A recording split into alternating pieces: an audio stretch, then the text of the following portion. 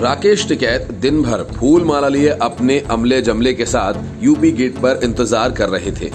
लेकिन ममता बनर्जी मिलने आई ही नहीं। बंगाल विधानसभा चुनाव के दौरान टिकैत ने ममता बनर्जी का चुनाव प्रचार किया था। तब ममता बनर्जी टिकैत से मिलने भी गई थी और बातचीत भी की थी। लेकिन विधानसभा चुनाव खत्म हुआ तो ममता बनर्जी के लिए टिकैत का क्या मतलब? वैसे भी टिकैत ने बंगाल में ममता बनर्जी की जीत का श्रेय दबी जुमा में खुद लेने की कोशिश की थी। लेकिन दिल्ली आकर दिन भर इंतज़ार करवा कर ममता बनर्जी ने राकेश टिकैत को ये जता दिया कि वो उनके किसी काम के नहीं। उसका जितना इस्तेमाल हो सकता था वे कर सकती थी वो हो चुका है। ममता बनर्जी के नहीं आने से परेशान टिकैत ने उल्टी पुल्टी सफ़ाई देना शुरू कर दिया। टिकैत ने कहा कि उन्हें तो मीडिया से पता चला कि ममता बनर्जी उनसे मिलने वाली हैं, लेकिन वे उनका इंतज़ार करते रहे। वैसे राकेश टिकैत की ये सफ़ाई किसी को पच नहीं रही है। कहा जा रहा है कि ममता बनर्जी यूपी गेट पर किसानों से मिलने की इच्छुक नहीं थीं और न ही उन्होंने ऐसा कोई कार्यक्रम पहले से ही बनाया था। इससे पहले बंगाल की मुख्यमंत्री ममता बनर्जी के आने की अटकलों को लेकर दिन भर पुलिस प्रशासन सतर्क रहा। हालाँकि वह यहाँ नहीं आई। यूपी गेट पर भारतीय किसान यूनियन के राष्ट्रीय प्रवक्ता राकेश टिकैत की अगुवाई में धरना चल रहा है। विधानसभा चुनाव के दौरान उन्होंने बंगाल में जाकर भारतीय जनता पार्टी के खिलाफ प्रचार किया था। बंगाल की मुख्यमंत्री ममता बनर्जी दिल्ली आई थी। अटकलें लगाई जा रही थी कि वह यहाँ आकर राकेश टिकैत से मुलाकात करेंगी।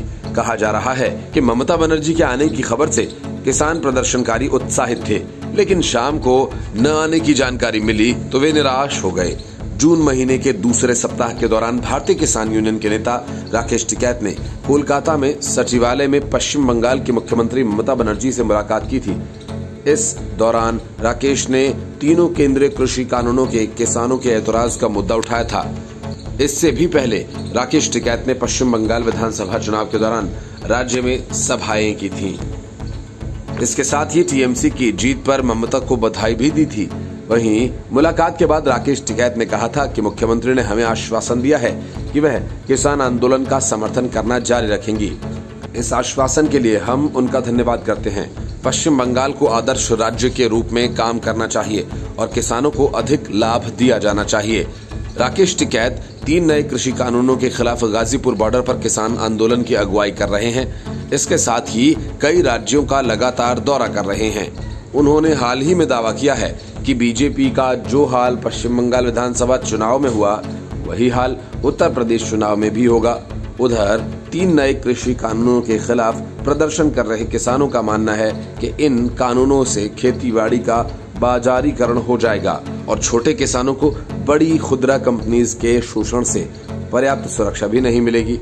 जंतर मंतर पर कृषि कानून विरोधी चल रहे आंदोलनकारियों का प्रदर्शन लगातार जारी है। प्रदर्शनकारियों द्वारा संसद की तरह कार्रवाई चलाते हुए विद्युत संशोधन कानून 2020 पर चर्चा की, साथ ही इसे वापस लेने की मांग को दोहराया। Report, news of India.